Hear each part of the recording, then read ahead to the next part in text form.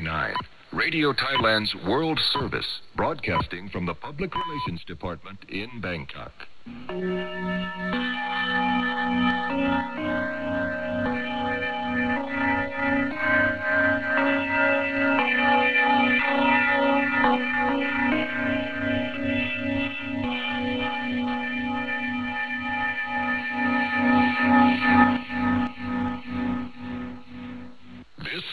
HSK9, Radio Thailand's World Service, broadcasting from the Public Relations Department in Bangkok.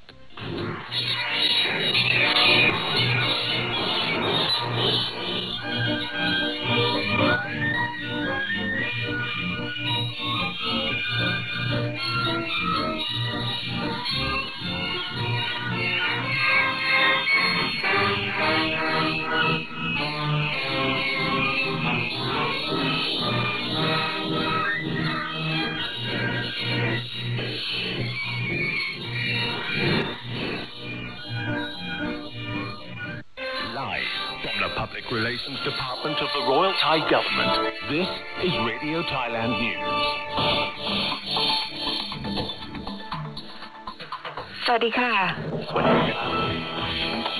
Starting off our national news this morning. The Prime Minister expresses concern over the impact of the ongoing coronavirus epidemic. Meanwhile, water is distributed to drought hit areas while more reservoirs are being built as part of the government's long term measures to address water scarcity. Looking at the global scene, the head of the European Union's Foreign Service is traveling to Iran this week in a bid to reduce tensions in the Middle East. And on the business agenda, a meeting of economic ministers yields two measures to prop up the tourism industry amid the coronavirus epidemic. All the top headlines and many more coming up.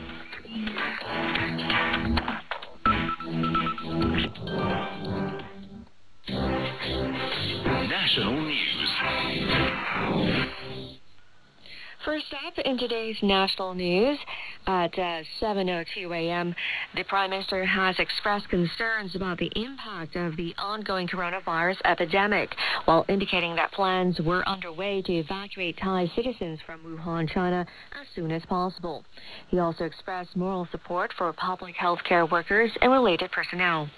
Government spokesperson Narumon Pinyosinwat disclosed that Prime Minister General Prayut Chan-o-cha has been closely following the developments of the coronavirus outbreak and remains concerned about the welfare and safety of Thai people in Wuhan and other cities throughout China. The premier has vowed to look after Thai nationals both at home and abroad. Regarding the repatriation of Thais from Wuhan, the government has been in close contact with the Chinese government on the matter. Relevant ministries have prepared a commercial airplane to bring people back from Wuhan in the coming days.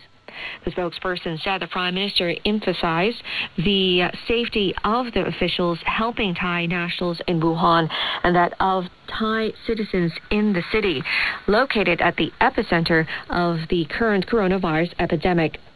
The Premier also thanked all of those who provided moral support to public health officials and reaffirmed that the government would do its best to effectively manage the situation. Water is to be distributed to drought hit areas as a short term measure while more reservoirs are being constructed as part of the government's long term plans to address water scarcity.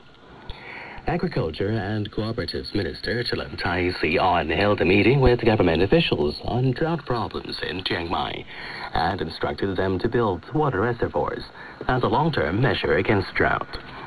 He also met with uh, groups of locals to hear about their water related problems and ordered relevant agencies to promptly solve them. Meanwhile, Senate member Lieutenant General Jaresak Anupa visited the upper northeastern region of the country and inspected the Huai Luang Watershed Development Project in Phon Phisai district of Nong Khai province. Locals have fully contributed to the implementation of the project, which is scheduled for completion in 2026.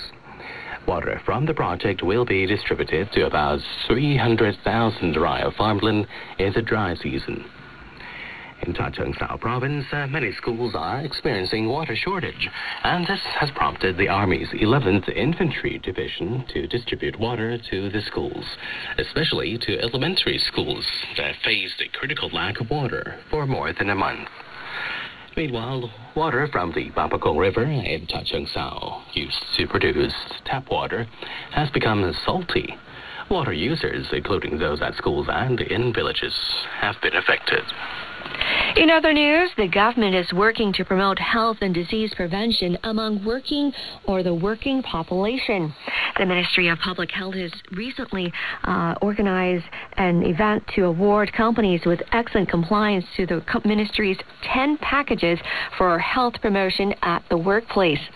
The ceremony was attended by executives from government agencies and private companies.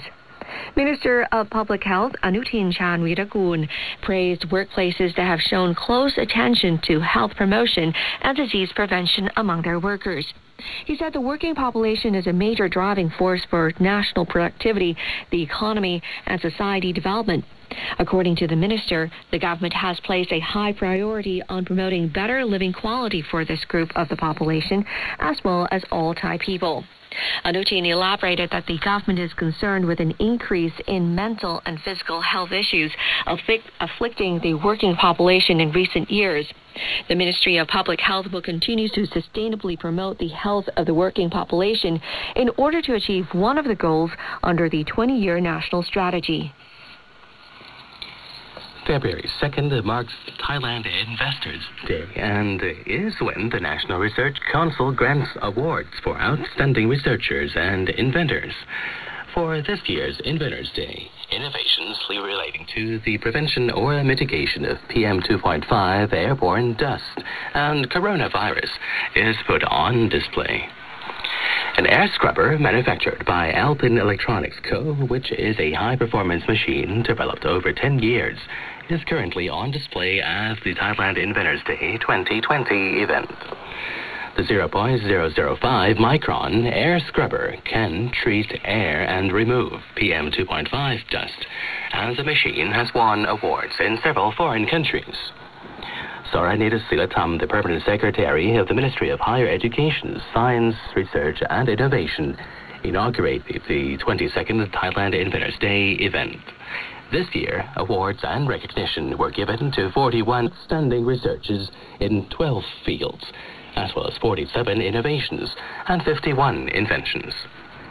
Thailand Inventors Day is organized yearly in commemoration of a patented Chaipattana water turbine that was invented by His Majesty the late King Bhumibol Adulyadej the Great.